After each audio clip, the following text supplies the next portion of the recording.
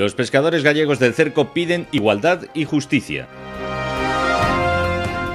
Tras meses de denunciar su situación, los pescadores gallegos, en su mayoría dedicados a la tradicional pesca coordinada entre barcos, conocida como pesca del cerco, continúan sus protestas por lo que consideran una situación injusta e insostenible. Nosotros queremos que se anule el plan de gestión de las cuotas de pesca, que es injusta, insolidaria, insostenible y perjudica a toda nuestra flota, expresa Andrés García, portavoz de la Asociación de Armadores y Pescadores Gallegos del Cerco, ACERGA. Entre tanto, la flota de más de 120 barcos continúa amarrada y sus tripulantes siguen acampados en señal de protesta junto al edificio de la presidencia de la Junta de Galicia en Santiago de Compostela, desde que el pasado mes de octubre el gobierno de España prohibiera la pesca de la principal fuente de ingresos de los pescadores gallegos del cerco, el conocido como jurel o chicharro. Los pescadores gallegos del cerco piden que se anule el reparto actual de las cuotas que no justifica la sostenibilidad de los caladeros y no está asignado a los pescadores, sino a las capturas históricas de las flotas, para que se sustituya por un sistema más justo e igualitario para todos los pescadores y armadores de España.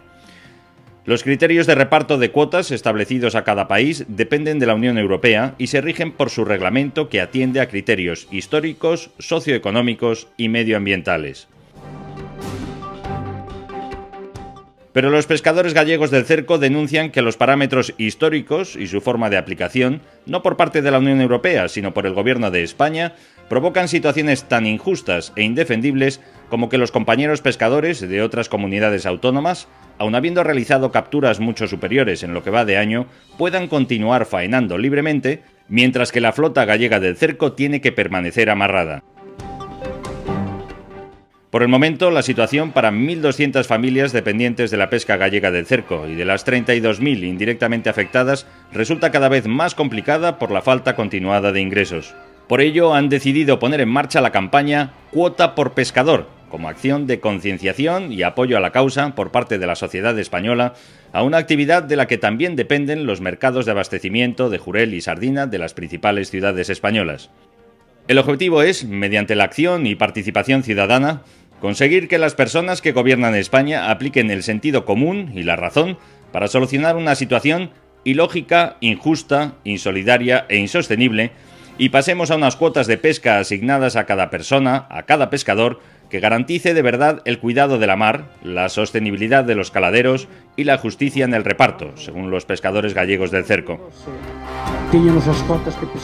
Por su parte, el Gobierno de España, por voz de su secretario general de Pesca, Andrés Hermida, muestra sus intenciones de analizar el plan de gestión de las cuotas asignadas, aunque aún no ha mostrado su compromiso a aplicar el sistema de cuota por pescador.